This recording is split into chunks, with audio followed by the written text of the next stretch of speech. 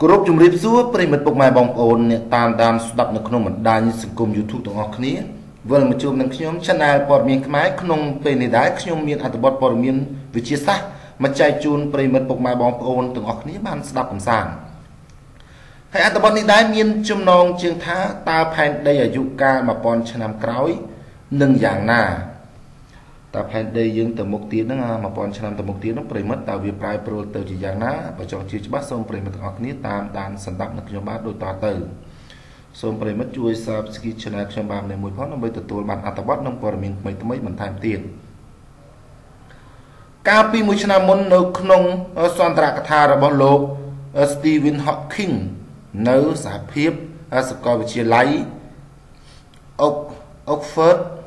បានប្រកាសថាមនុស្សជាតិអាចរស់បាន1000ឆ្នាំទៀតចង់ដឹងថាអនាគតរបស់យើងនឹងត្រូវវិនិច្ឆ័យឬយ៉ាងណា ហើយដូច្នេះយើងបានចងក្រងនៅការទុះទាយដ៏រំភើបបំផុតសម្រាប់សហសវត្សថ្មីមួយមនុស្សនឹងរស់បាន1000ឆ្នាំ មហាសេដ្ឋីបានវិនិយោគរាប់លានដុល្លាររួចទៅហើយក្នុងការស្រាវជ្រាវលើការកាត់បន្ថយឬបញ្ឈប់ភាពចាស់ក្នុងរយៈពេល1000ឆ្នាំវិទ្យាសាស្ត្រអាចនឹងបង្កើតវិធីព្យាបាលសម្រាប់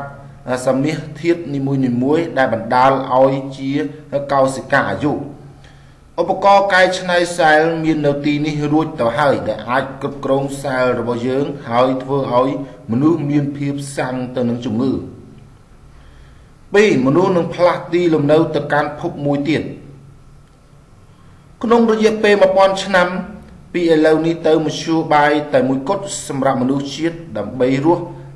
អាចជាការបង្កើតការតាំងទីលំនៅថ្មីនៅក្នុងអវកាស SpaceX មានបេសកកម្មមួយដើម្បីជួយមនុស្សឲ្យคลายទៅជាអច្ឆរិយៈអវកាសនិងដោយបង្កើតទីក្រុង ត្រត្រង់ខ្លួនឯងនៅ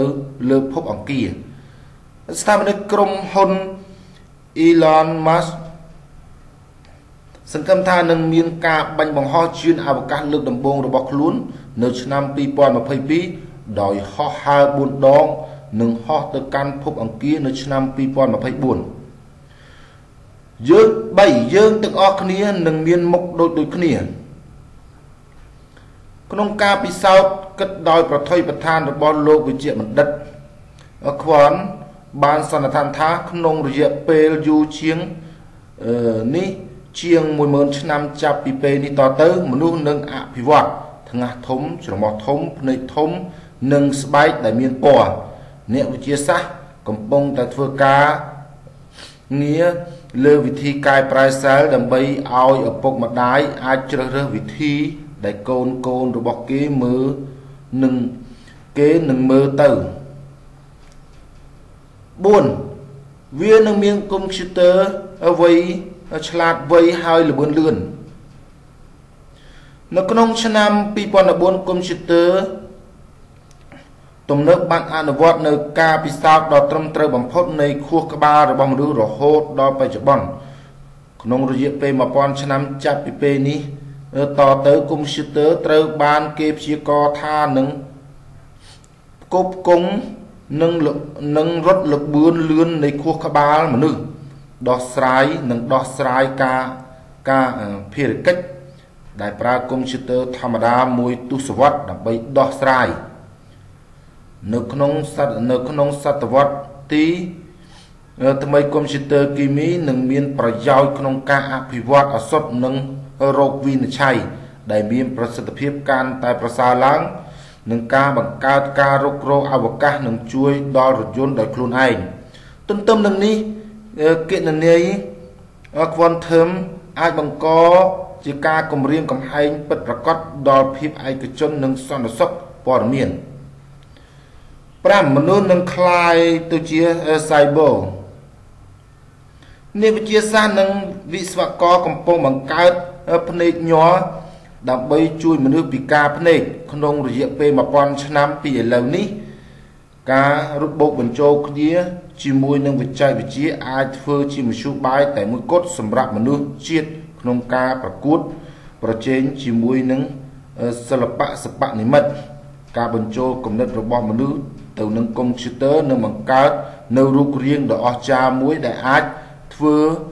ការ មានការស្មុគស្មាញនិងស្វែងរកអ៊ីនធឺណិតដោយគ្រាន់តែគិត6ការផុតពូជដ៏ធំមួយកំពុងស្ថិតនៅ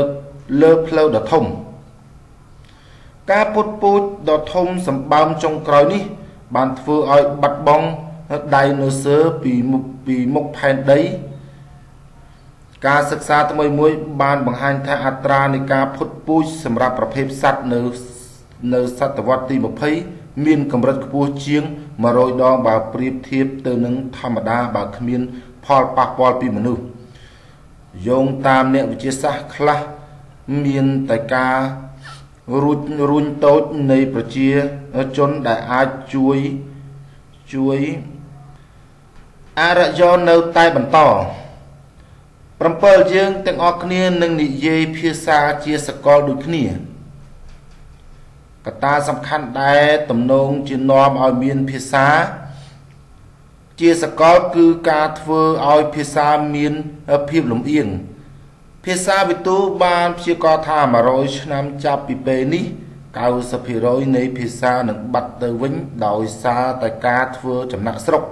ហើយអ្នកដែលរស់នៅសល់នឹងងាយស្រួលសេរានីយ៉ូអាគា បាប៊ឺលនៅតែមើលទៅមិនទំនងឡើយ8អាគារនឹងប្រមូលផ្ដុំគ្នាហើយផ្ដាច់ចេញពីបញ្ជា នៅពេលអនាគតមនុស្សទំនងជាអាចបង្កើតពិភពទស្សបនិមិត្តជុំវិញពួកគេដោយប្រើគំនិតនៃអបក្លាសាគំនិត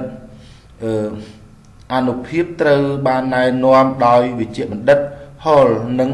តំណាងឲ្យវត្ថុធាតុ ពហុហុំដែលមានរាប់លានរាប់ពាន់លាននៃមនុស្សយន្តដែលមានលក្ខណៈតូចចង្អៀតដែលអាចបង្កើតជារូបរាងណាមួយ9វិច័យវិទ្យានុយក្លេអ៊ែរនឹងដោះស្រាយវិបត្តិធម្មពលនិងភាពកខ្វក់ក្នុងរយៈពេល1000ឆ្នាំចាប់ពីពេលនេះវិច័យវិទ្យាណាណូនឹងអាចសម្អាតការខូចខាតបរិយាកាស សម្អាតទឹកនិងខ្យល់និងចាប់យកធម្មពលរបស់ព្រះអាទិត្យវត្ថុធាតុដើមថ្មីនឹងឆ្លើយតបទៅនឹងតម្រូវការសម្រាប់វិច័យវិទ្យាផ្ទុកធម្មពលថ្មីនិងបរិស្ថាន ដែលមានប្រសិទ្ធភាពជាងមុនបាទអត្ថបទនេះសូមបញ្ចប់តែប៉ុណ្ណេះសូមប្រិយមិត្តទាំងអស់គ្នាជួយ Subscribe Channel ខ្ញុំបាទម្នាក់មួយផងដើម្បីទទួលបានអត្ថបទនិងព័ត៌មានថ្មីៗបន្ថែមទៀត